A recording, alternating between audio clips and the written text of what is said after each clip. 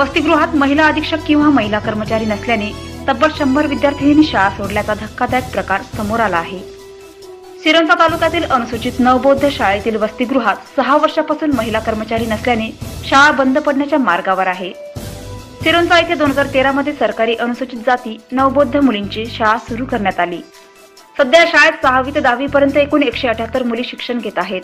मात्र महिला अधीक्षका अभावी शंभर मुलींनी शाळा सोडली.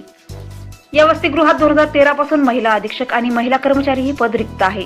आरोग्याच्या प्रश्नाबाबत पुरुष शिक्षकांना सांगण्याबाबत होत असलेली कुचंबना मुलींच्या आरोग्याबाबतचे प्रश्न असो व तत्सम बाबी ऐकण्यासाठी महिलाच उपलब्ध नसल्याने हतबल मुलींनी आता शाळा सोडण्याचा निर्णय घेतला.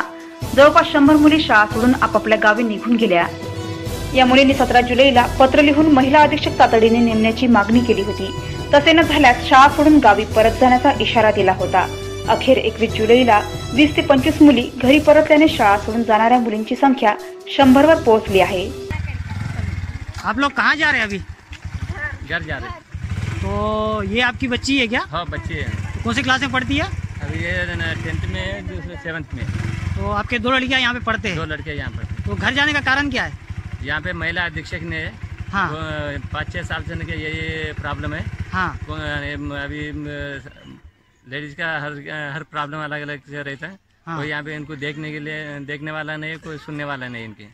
लेटर करस्पॉन्डिंग किए लेकिन अभी तक कोई रिज़ल्ट ही नहीं आया तो अब ये बच्चे वापस कब आएँगे? जब तक महिला अधीक्षक आएँगी नहीं तब तक घर पे ही रहने वाले हैं। तो इससे बच्चों का पढ़ाई नुकसान नहीं होगा क्या? यहाँ पे बच्चों की सुरक्षा बहुत ज़रूरी है। हे शाळा दोन हजार तेरा पासून दोन हजार तेराला सुरू केले. तेव्हापासून इथं महिला अधीक्षिका नाही.